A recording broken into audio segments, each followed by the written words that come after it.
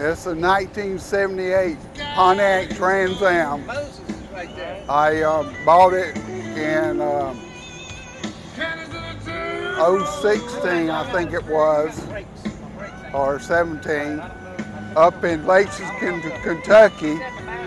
And since I had it, I have put cutouts on it. I put a vintage air on it. And uh, I had to put a new starter on it, new fuel pump. And I just bought new tires for it this year.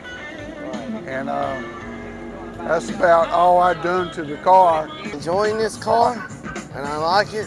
It's my, my dad's car forever. And it's been a good looking car.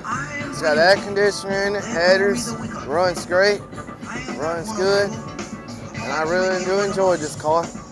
I used to have one as a young man and had to get rid of it. And then I uh, got retirement age, I bought another one the same color.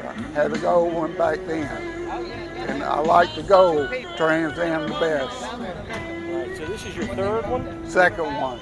So this is one that's similar to the one you had before, Yes, right? sir. It stands out real good. It attracts people's eyes, the color of it, and there's not many of them out there. And the first one I have was what they call a Y88. Had the T-tops in it, and it had all the gold trim, uh, pinstripe and the stuff on it, which this is not a Y88. This being a young man, being able to race on the streets, different people having stock cars, you know, and this uh, going places and everybody saying that's a pretty car and being able to talk to people because of the car and it just made life a lot of fun. I like uh, I like Novas. Those are my favorite cars. I like Novas. That's what I've been wanting for the last couple years. Me a Nova, a red Nova with an LS motor in it, with red paint. The history of cars, the way they changed, because today they're nothing like they were back then. Cars were very pretty back then. Hey, style. Each one had its own style. And today they kind of blend all together. I like to hear the rumble of an engine. And uh, so You know what kind of engine's in here?